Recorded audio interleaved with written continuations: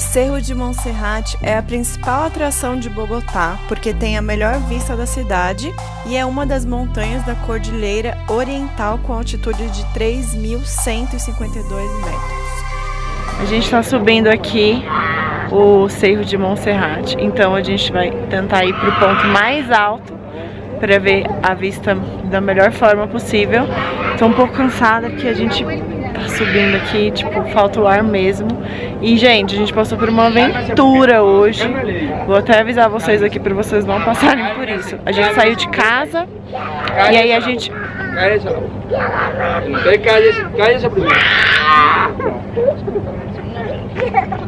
E aí a gente saiu de casa, pegou o Uber e eu coloquei é, Monserrate, aí apareceu o Morro de Monserrate. Eu falei, ah, deve ser isso. Aí coloquei lá e aí tava dando 13 mil pesos colombianos. E aí a gente pegou ok. E quando a gente foi ver, o caminho tava muito diferente. Ah, diferente não, a gente não conhece, mas tava tipo subindo, subindo, subindo o morro. E aí é, tava ficando estranho. Tipo, o cara disse, o, cara, o motorista disse que a gente tava subindo por trás do cerro, não é isso? O cara, o motorista do Uber disse que a gente tava subindo por trás do Cerro de Monserrate. Mas a gente tava achando bem estranho e tava sem sinal de telefone e tudo. E aí comecei a ficar preocupada. E quando chegou na parte que acabava o asfalto, ele falou que ele não ia mais subir. E aí, tipo, não tinha sinal do celular, a gente não sabia onde a gente tava. E a gente falou pra ele voltar com a gente e ir até o funicular. Na verdade, quando vocês forem pegar Uber em qualquer lugar que vocês estiverem da, de Bogotá para conhecer o Cerro de Monserrate, vocês têm que colocar estação funicular que vai ser da onde vocês vão subir para ver o Cerro de Monserrate. E aí a gente se ferrou porque a gente, além de pagar os 13 mil que era estimado da nossa da nossa corrida, nosso trajeto, ele falou, ele cobrou 30 mil pesos. É, então a gente teve que pagar 30 mil pesos, ele falou que era a ida e a volta. E falou que tinha encerrado a minha corrida. E ele não tinha encerrado a minha corrida. Quando eu cheguei na fila para comprar os ingressos, pra pegar o funicular, é, o Uber tava tipo andando ainda, sabe? Eu acho que ele ia andar até gastar uns 30 mil pesos. Aí eu já reportei a Uber. Vamos ver se eles vão me ressarcir. Mas é, fica a dica aí pra vocês. Quando vocês forem pegar o Uber, coloca estação funicular, que aí vai dar tudo certo. E pra pegar o funicular, vocês vão pagar 20 mil pesos por pessoa. E é super rapidinho, dá uns 5 minutinhos mais ou menos. E você também tem a opção de pegar o teleférico e descer e subir e tal. Só que a gente, além de não estar funcionando hoje, eu fiquei um pouco com medo, porque no dia que a gente chegou, eu acho que foi no dia 20, 24 que teve um acidente com esse teleférico e ele, parece que eles se chocaram e aí ficaram mais de 28 pessoas feridas, então eu não iria arriscar, não é mesmo? E de funicular é bem de boa, eu não sei quanto que tá o teleférico, mas é 20 mil pesos por pessoa funicular e é bem de boa. Agora vamos subir mais pra gente mostrar a vista aqui pra vocês. Gente, vocês também têm a opção de subir a pé, só que eu acho que vocês vão demorar uma eternidade. Não, acho que é estimada duas horas pra ir, duas horas pra voltar. Mas eu não sou tão fitness assim, não é mesmo? E é considerado um dos principais atrativos religiosos, porque lá no alto tem a Basílica do Senhor de Monserrate.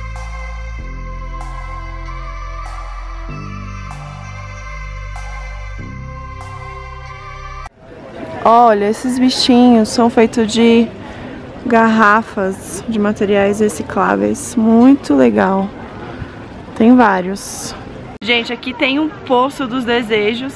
Então vou jogar uma moedinha de 100 pesos colombianos e fazer um pedido. Vamos ver se esse meu pedido vai se realizar.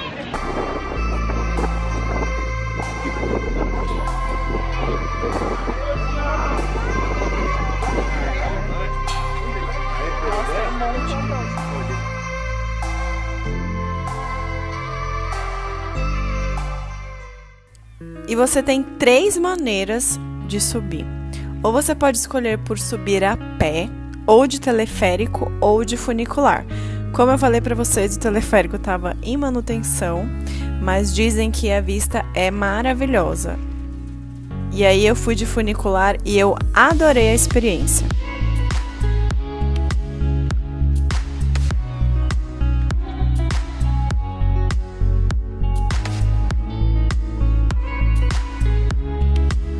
Depois do nosso passeio pelo Monserrate, a gente foi até o Plaza Central, que é um centro comercial enorme, é tipo um shopping. E tem várias lojas, vários restaurantes, é um passeio bem legal. E nos arredores desse centro comercial tem várias lojas, entre elas Adidas, Victoria's Secret. Gente, olha que legal, eu achei um restaurante aqui no shopping que tem várias coisas de videogame, do Mario e várias coisas. Olha esse sofá, que show! E o legal é que você também pode ficar jogando da mesa. Eu achei sensacional. A gente parou para comer aqui no, nesse restaurante aqui, Genos Pizza. E aí o Wade pediu esse prato que tá lindo, maravilhoso, com salada, costela e macarrão bolonhesa. E eu pedi uma pizza de pepperoni sem queijo, para variar um pouco.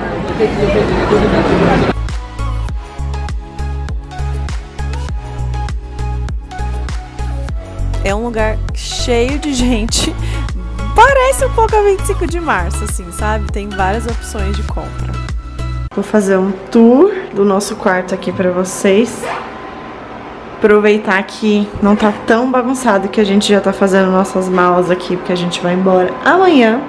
Mas é assim, ó, entrando aqui, você tem essa... Ah, uma salinha assim, tipo copa da cozinha. E virando pra cá, já temos uma cozinha pequenininha, ó. Tem fogão, tem cafeteira, micro-ondas e temos o frigobar pequenininho. Aí aqui a gente tem uma sacada bem pequenininha. Deixa eu abrir aqui. Olha, é bem pequenininha mesmo, só pra dizer que tem. E aqui é o nosso bairro. Eu achei muito legal esse bairro, ele é super seguro. Quando eu pesquisei, mostrava que esse bairro é o bairro mais seguro de Bogotá, que é no, fica no Chicó Norte. Aí saindo aqui da sacada, temos a mesa, que vive uma bagunça, né? Duas cadeiras. E aqui, tá vendo essa parte aqui? essa divisão aqui é o banheiro.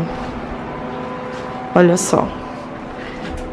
Banheiro bem bonitinho. Eu amei essa pia, gente do céu.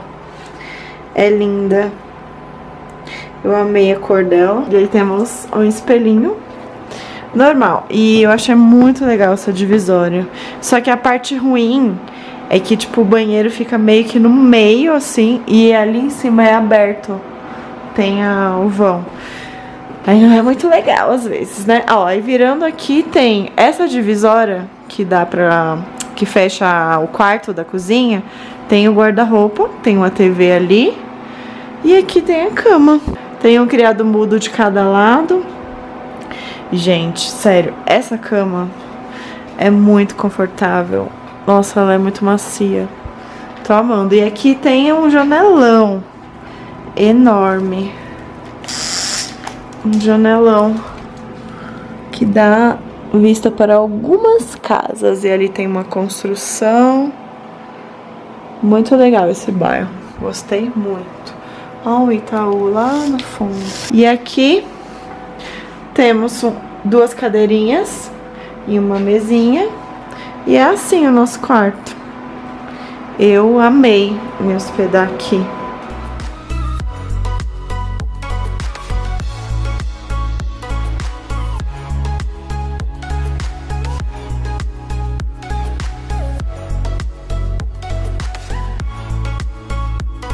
Olha esse negócio que eu comprei. Eu comprei lá numa lojinha chamada Dollar City, Dollar City, uma coisa assim. Aqui tá escrito Dolarama, mas não é esse nome. Lá no Shopping Central Plaza, Central, Plaza Shopping, uma coisa assim. E aí, agora eu vou provar pra ver se é bom. Custou 7 mil pesos colombianos.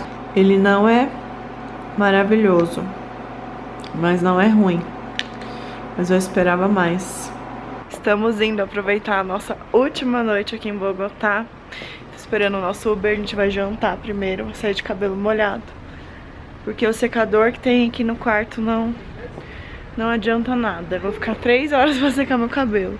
Então eu vou sair assim mesmo. Meu Deus, eu esqueci de colocar brinco. E esse restaurante chama Andrés Carne de Res. Ele é o Express. Tem vários restaurantes, vários não, acho que são três ou quatro, se eu não me engano. Tem um bem grandão, mas esse era o mais pertinho da onde a gente estava hospedado. A empanada deles é frita, é bem diferente do que eu já tinha comido. Bem gordurosa também. É, a gente pediu uma carne, uma batata, uma empanada, uma sopinha e esses, esses pratos deu um valor de 48 reais, mais ou menos. E eu acabei de achar uma Forever. Tô aqui no provador. Ai, sério, gente. Tô pirando. A gente jantou e viemos dar uma volta aqui na região da Zona T. Resolvemos tomar uns drinks, uns barzinhos ali da Zona T e no dia seguinte embarcamos para o Equador. Então, o próximo vlog vai ser do Equador. Então, eu espero que você tenha gostado desse vlog e acompanhe o próximo, tá bom? Que vai ser em breve. Beijo, tchau, tchau.